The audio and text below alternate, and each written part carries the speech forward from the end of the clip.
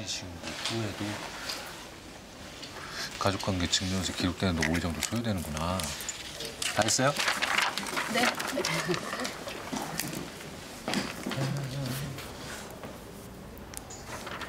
여기 있습니다. 아, 예, 고맙습니다. 수고하세요. 자, 드디어 본인 증명서 성태평이 이동숙의 오 잠깐만 이게 저기요 이거 이거 이름은 같은데 이거 생년월일 잘못된 사람으로 좀 잘못 나온 것 같은데. 아직 말 안 했어? 이상 없는데요? 이게 이동숙 1974년 7월 28일 범띠예요? 아니 그게 아니라 아, 고의가 아니었어요 오빠. 아니 나는 나보다 나이가 한두 살 어리다고 해서. 마음이.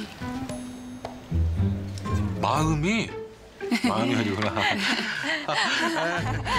그러니까 나이 그 숫자에 불과한 거 뭐가 중요하겠어요? 아, 두분 이제 진짜 법적으로 부부 되신 거예요? 당연하지.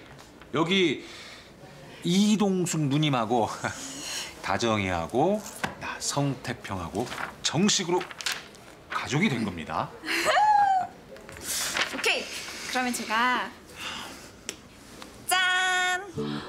웬 반지야? 아니 제대로 된 반지도 없는 게 마음에 좀 걸려서. 아, 네가 돈이 어딨다고 세상에 이런 건 내가 준비했어야 되는 건데. 아우 대신 아빠는 나중에 비싼 다이아몬드 반지 엄마한테 해주시면 되잖아요.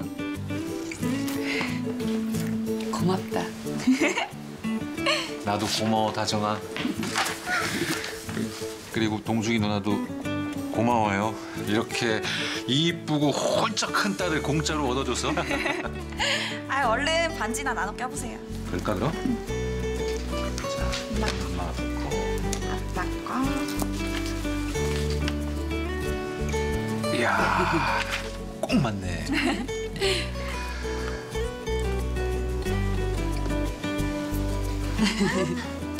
어때? 아 예쁘다. 그래? 이제 반지도 나눠 꼈으니까 우리 기념 촬영 한번 하고 갈까요? 그럴까? 그래, 오케이. 혼인신고도 잘 나오게. 하나, 둘, 셋. 김치